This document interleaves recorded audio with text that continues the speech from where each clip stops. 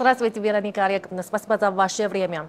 В 2023 году объем двусторонней торговли Китая с Россией достиг рекордных 240 миллиардов долларов США, увеличившись на 26,3%. Как вы оцениваете достигнутые результаты китайско-российского торгового сотрудничества? Я хорошо помню, несколько лет назад цифра в 100 тысяч миллиардов долларов э, для товарооборота являлась суперамбициозной, а сейчас мы достигаем 240 миллиардов. С одной стороны, мы радуемся, что это рекорд, с другой стороны, мы понимаем, что у нас огромные возможности еще не реализованные. Как это стало возможно? Ну, потому что мы действительно, и Россия, и Китай, системно работают над увеличением э, возможностей для взаимного сотрудничества. Россия и Китай э, всегда заявляли о стратегическом стратегическом партнерстве и всегда были направлены на э, дружеское взаимовыгодное сотрудничество. Никогда не заявляли о торговых, экономических э, конфликтах и наоборот старались всячески избегать тех барьеров торговли, которые э, возникают на пути наших товаров. Всегда очень в дружеской обстановке на различных межправкомиссиях и других площадках обсуждали те факторы, которые мешают увеличению экспорта и импорта, это решали эти упрощения с точки зрения регуляторики, стимулировали приход инвесторов, и поэтому те цифры, которые мы видим, амбициозные цифры 240 миллиардов долларов, это результат очень кропотливой, очень планомерной работы правительств и бизнеса наших стран по выстраиванию, по сохранению, по уважению дружеских отношений друг к другу. И мы э, видим большой потенциал в нашем э, сотрудничестве, мы видим очень много ниш для российского экспорта, которые присутствуют на китайском рынке, но еще нами не освоены. И э, мы имеем очень большие планы по э, расширению товарооборота, и э, все это будет абсолютно взаимовыгодно. Поставки какого вида продукции Россия намерена увеличить в Китае и в каких областях будет ускорено создание новых точек роста двухстороннего товарооборота? По прошлому году мы видим э, взрывной э, рост э, экспорта российского агропромышленного комплекса на рынок Китая, и это связано, наверное, с несколькими тенденциями. Во-первых, открытие китайского рынка для российской свинины, для субпродуктов, которые являются нашим мощным экспортным потенциалом, но раньше не присутствовали на китайском рынке, открыли возможности для российских компаний заключать экспортные контракты и увеличивать э, товарооборот.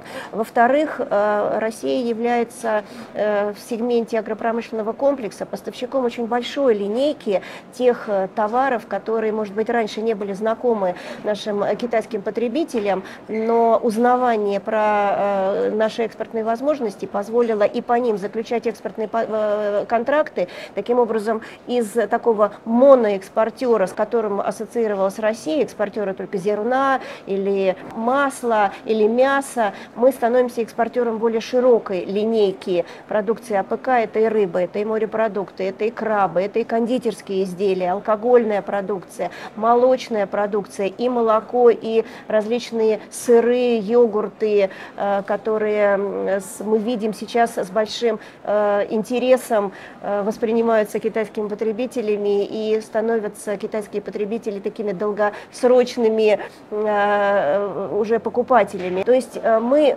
стали показывать нашим китайским партнерам большой ассортимент того, что мы в сегменте АПК делаем, и увидели большой такой взрывной рост к этому ассортименту. И деловые переговоры, которые мы проводим с дистрибьюторами, потом экспортные контракты, которые заключались в прошлом году, э, продемонстрировали действительно большой интерес вот ко всей линейке, ко всему ассортименту российского сегмента АПК. Поэтому, отвечая на ваш вопрос, во-первых, во-первых, мы видим увеличение объемов экспорта вот этой большой линейки, которую мы пока только познакомили, это называется только пощупали, попробовали для китайских потребителей. И, конечно, э, еще большая неизведанная ниша в предложении нашего сегмента промышленного для китайских э, э, покупателей и готовой продукции, и тех полуфабрикатов, которые используются в цепочках добавленной стоимости для использования в готовой продукции. Здесь мы видим очень большую нишу для работы, потому что, опять же, слабое знание о том, что мы умеем производить и как мы сможем, можем выстраивать кооперационной связи, вот это слабое знание как раз и требует от нас больше сейчас работы по нахождению таких пар э, партнеров на российской и китайской стороне. Одно из направлений нашей работы на этот год и следующие годы это как раз знакомство э, именно в сегменте промышленного э, сектора российских и китайских потребителей. Каким образом возможно расширение потенциала китайско-российских отношений в сфере внешней торговли? И сейчас э, планируют ли вводить новые стратегии для дальнейшего развития китайско-российского экономического и торгового сотрудничества?